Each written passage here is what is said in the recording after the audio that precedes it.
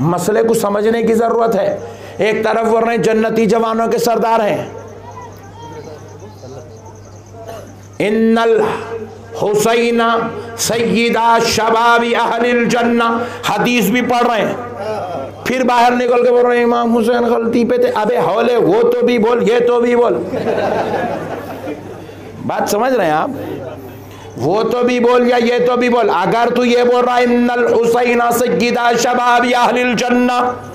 अगर ये कहता है तो फिर इमाम हुसैन करबला में गलती पर है। नहीं कह सकता, क्योंकि खुदा की कसम, जो जन्नती का सरदार है, जन्नतियों का, वो गलती पर नहीं हो सकता है।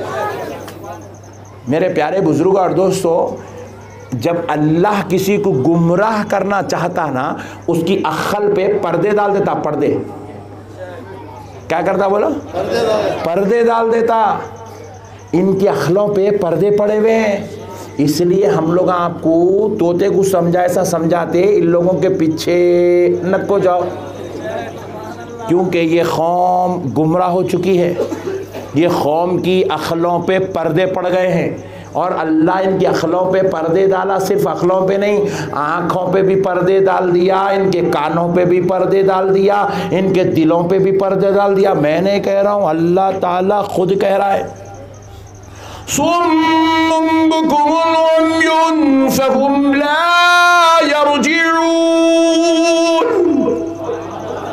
अल्लाह ताला खुद कह रहा है, ये अंधे हैं।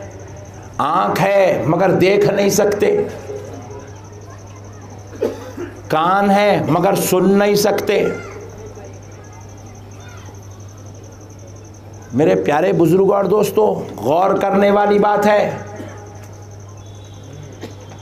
अल्लाह के वास्ते दीन को समझो मुसलमानों।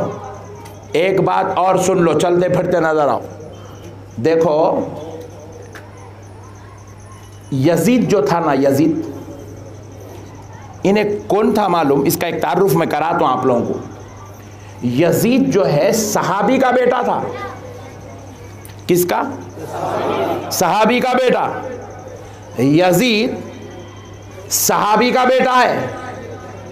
यजीद उम्मुल मोमिनीन, हज़रत उम्मे हबीबा का भतीजा है।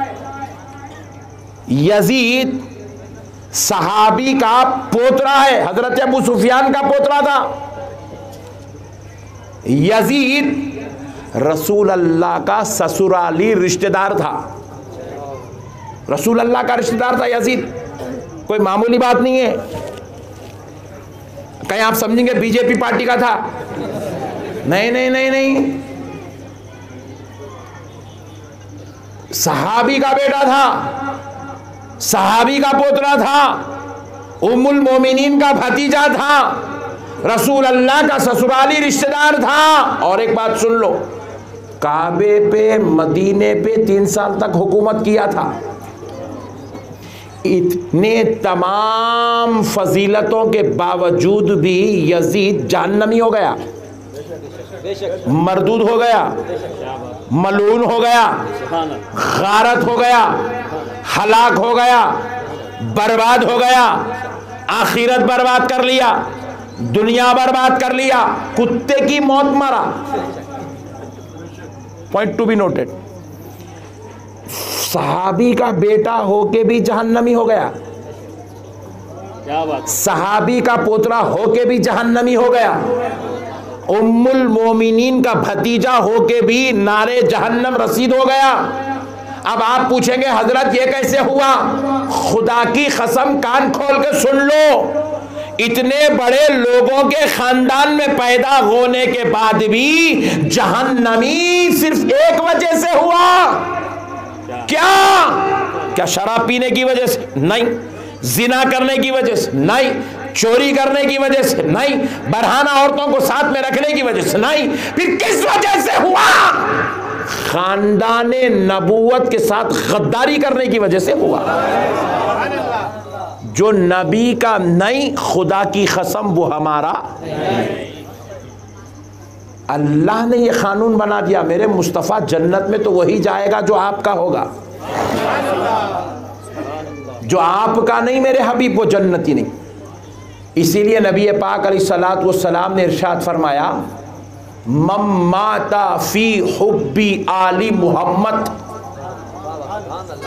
दखल जन्ना हुजूर ने फरमाया, जो आले मोहम्मद की मोहब्बत में मर गया, जो आले मोहम्मद की मोहब्बत में मर गया, वो जन्नत में दाखिल हो गया। और जो आले मोहम्मद से गद्दारी कर गया बेवफाई कर गया, बेअदबी कर गया, गुस्ताखी कर गया। सहाबी के घर में ही क्यों ना पैदा हो, वो जहन्नमी हो गया। मेरे प्यारे भाइयों, उन्हें सहाबी के घर में पैदा होके जन्नती नहीं हो सका। अपन तो गुनेगार के घर में पैदा हुए, सोए। बाजू वाले भी। तो कैसा जन्नत में जाएँगे, बोलो आप? नहीं। भाई, इसके पूरे नमाजा एक तरफ़, बाजू वाले के।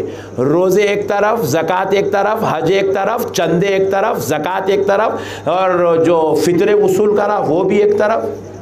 500 बच्चों को मदरसे में पढ़ाया, वो भी एक तरफ़। 300 बच्चियों की शादियाँ करा, वो भी एक तरफ़। इन्हें चौदहवीं सदी का है। उन्हें पहली सदी का था।